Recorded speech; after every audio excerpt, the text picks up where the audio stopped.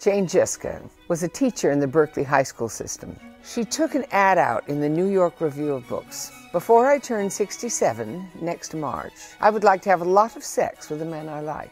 If you want to talk first, Trollope works for me. She didn't expect anyone to answer, and then the letters started coming in. She had 63 responses. Now, her journey was not as she dreamed. In fact, she says, I, I got exactly what I wanted a lot of sex with a man I like.